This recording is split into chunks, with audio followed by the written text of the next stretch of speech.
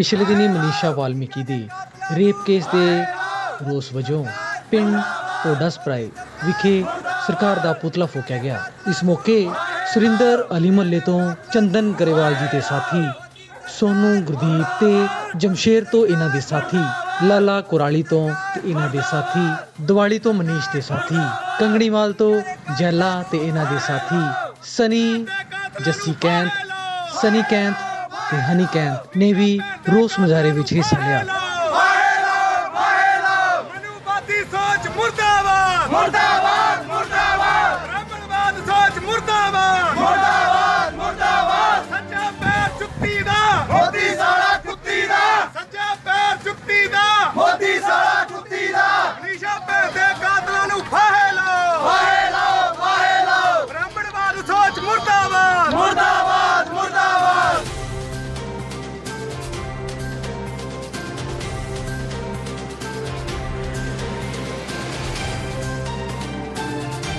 ਵੱਡੇ ਸਭਰਾਵਾਂ ਦੇ ਵਾਲਮੀਕੀ ਨੌਜਵਾਨ ਸਭਾ ਵੱਲੋਂ ਇੱਕ ਜਿਹੜਾ ਪੁਤਲਾ ਫੂਕ ਪ੍ਰਦਰਸ਼ਨ ਕੀਤਾ ਗਿਆ, ਜਿਹੜਾ ਭੈਣ ਮਨੀਸ਼ਾ ਵਾਲਮੀਕੀ ਦੇ ਨਾਲ ਹਾਥਰਸ ਦੇ ਪਿੰਡ ਵਿੱਚ ਰੇਪ ਕੇਸ ਹੋਇਆ, ਉਹਦੇ ਨਾਲ ਗੈਂਗ ਰੇਪ ਕੀਤਾ। ਉਹਦੇ ਰੋਸ ਵਜੋਂ ਅੱਜ ਪੂਰੇ ਭਾਰਤ ਵਿੱਚ ਹੀ ਨਹੀਂ, ਦੇਸ਼ਾਂ ਵਿਦੇਸ਼ਾਂ ਦੇ ਵਿੱਚ ਵੀ ਜਿਹੜੇ ਇਹ ਵਾਲਮੀਕੀ ਨਾਮ ਲੇਵਾ ਲੋਕ ਹੈਗੇ ਆ, ਵਾਲਮੀਕੀ ਨਾਮ ਲੇਵਾ ਸਮਾਜ ਦੇ ਲੋਕ ਹੈਗੇ ਆ ਔਰ ਇਹਨਾਂ ਤੋਂ ਇਲਾਵਾ ਸ- ਜਿੱਥੇ ਸਮਾਜ ਦੇ ਲੋਕ ਹੈਗੇ, ਉੱਥੇ ਹੋਰ ਸਮਾਜਾਂ ਦੇ ਵਿੱਚ ਵੀ ਇਹ ਰੋਸ਼ ਆ ਵੀ ਆਪ ਦੀ ਧੀ ਭੈਣ ਜਿਹੜੀ ਆ, ਬਿਲਕੁਲ ਅੱਜ ਸੇਫ ਭਾਰਤ ਦੇ ਵਿੱਚ ਮਹਿਸੂਸ ਨਹੀਂ ਕਰ ਰਹੀ ਹੋਇਆ ਕਿ ਜਿਹੜੀ ਲਗਾਤਾਰਤਾ ਦੇ ਵਿੱਚ ਜਿਹੜੇ ਰੇਪ ਕੇਸ ਆ, ਰੁਕ ਨਹੀਂ ਰਹੇ ਔਰ ਉਹ ਤਾਜ਼ਾ ਜਿਹੜਾ ਕਰੇ- ਕੇਸ ਹੋਇਆ ਮਨੀਸ਼ਾ ਵਾਲਮੀਕੀ ਦੇ ਨਾਲ, ਉਹਦੇ ਇਨਸਾਫ ਲਈ ਅੱਜ ਸਾਰੇ ਜਹਿਦ ਆਪਾਂ ਸਾਰੇ ਨੌਜਵਾਨ ਬੀਬੀ ਪੂਰੀ ਤਸ਼ੱਦਦ ਦੇ ਨਾਲ ਲੱਗੇ ਹੋਏ ਆ, ਪੂਰੀ ਸ਼ਿੱਦਤ ਦੇ ਨਾਲ ਲੱਗੇ ਹੋਏ ਆ। ਤੋਂ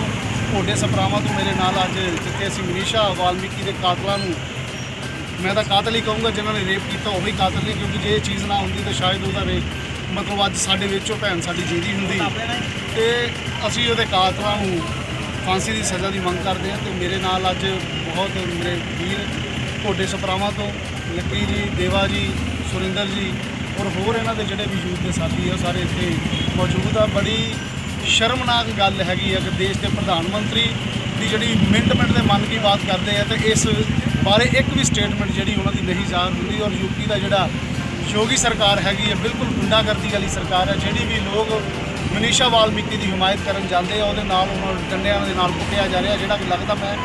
ਇਸ ਦੇਸ਼ ਦੇ ਅੱਜ ਜਿਹੜਾ ਆ, ਉਹ ਰਹਿਣ ਦੇ ਕਾਬਿਲ ਨਹੀਂ ਰਹਿ ਗਿਆ। ਤਾਂ ਸਾਨੂੰ ਸਾਰਿਆਂ ਨੂੰ ਮੈਂ ਬੇਨਤੀ ਵੀ ਕਰਦਾ, ਅਪੀਲ ਵੀ ਕਰਦਾ ਕਿ ਆਪਾਂ ਨੂੰ ਇੱਕ ਸਮਾਜ ਜਿੱਥੇ ਸਾਡੀ ਨਾਰੀ ਜਾਤੀ ਰਹੀ ਐਡੀਆਂ ਮਹਾਨ ਸਾਡੇ ਰਹਿਬਰਾਂ ਨੇ ਗੱਲਾਂ ਕੀਤੀਆਂ, ਪਰਮਪਿਤਾ ਪ੍ਰਮਾਤਮਾ ਵਾਲਮੀਕੀ ਮਹਾਰਾਜ ਜੀ ਨੇ ਕਿਹਾ ਜਨਨੀ ਔਰ ਜਨਮ ਭੂਮੀ ਸਵਰਗ ਸੇ बढ़कर ਹੈ ਗੁਰੂ ਨਾਨਕ ਦੇਵ ਜੀ ਨੇ ਕਿਹਾ ਸੋ ਕੋ ਮੰਦਾ ਆਗੀ ਇੱਜ਼ਤ ਜੰਮੇ ਰਾਜਾਨ ਜਿੱਥੇ ਐਡਾ ਵੱਡਾ ਅਹੁਦਾ ਉਹਨਾਂ ਰਹਿਬਰਾਂ ਨੇ ਸਾਡਿਆਂ ਨੇ ਦਿੱਤਾ ਤੇ ਅਸੀਂ ਆਪਣੇ ਦੇਸ਼ ਦੇ ਵਿੱਚ ਅੱਜ ਨਾਰੀ ਦੇ ਨਾਲ ਕੀ ਵਤੀਰਾ ਹੋ ਰਿਹਾ ਇਹ ਬਹੁਤ ਚਿੰਤਾ ਦਾ ਵਿਸ਼ਾ ਹੈ ਤੇ ਮੈਂ ਸਾਰਿਆਂ ਨੂੰ ਬੇਨਤੀ ਇਹ ਕਰਦਾ ਕਿ ਭੈਣ ਮਨੀਸ਼ਾ ਨੂੰ ਇਨਸਾਫ ਦਿਵਾਉਣ ਲਈ ਆਪਾਂ ਸਾਰਿਆਂ ਨੂੰ ਇਕਜੁੱਟ ਹੋਣਾ ਚਾਹੀਦਾ